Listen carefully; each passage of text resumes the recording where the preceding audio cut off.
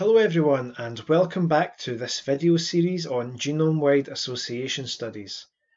In previous videos we have discussed the relationship between genetic variants and traits and how researchers use genotyping to identify the location of genetic variants associated with complex traits by taking advantage of linkage disequilibrium.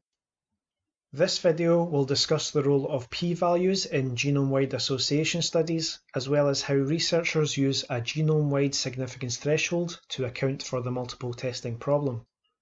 First, we need to understand how researchers define a statistically significant association. Genome-wide association studies use p-values to measure the statistical significance of an association between a genetic variant and a trait.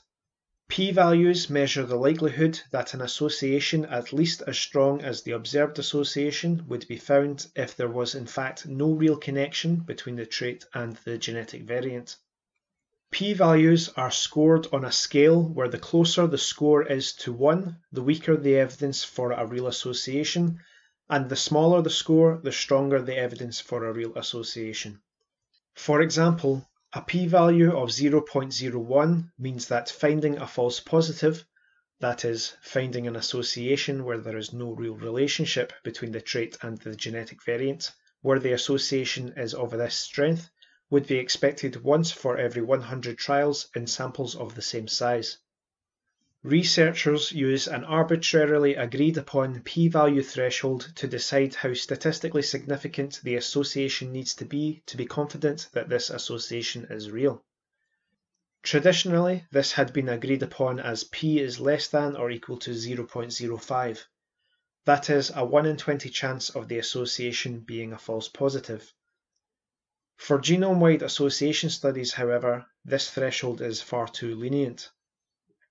The reason that p is less than or equal to 0.05 had been acceptable historically in genetics but is not acceptable in modern genomics is that genome-wide association studies carry out way more than 20 tests.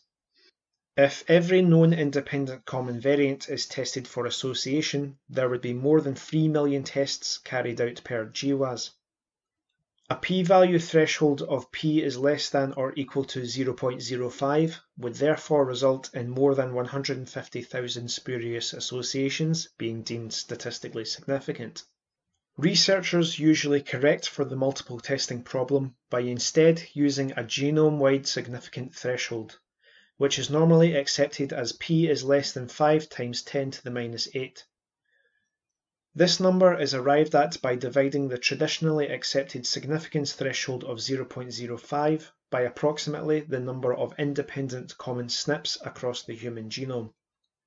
Correcting for multiple testing in this way solves the problem of too many false positives, but there is always a trade-off to be made between rejecting false positives and the power to detect real associations. If the size of the effect that a genetic variant has on the trait is small, and for complex traits like behavior this is almost always the case, it is necessary for sample sizes, that is, the number of participants who have volunteered their genotype data, to be very large in order to be able to detect the effect at genome-wide significance.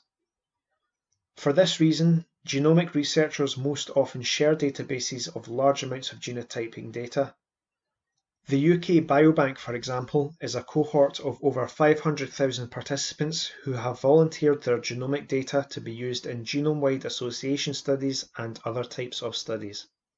If you want to find out how researchers use these data to detect associations between genetic variants and traits, subscribe to Behavioural Genomics and look out for the next video.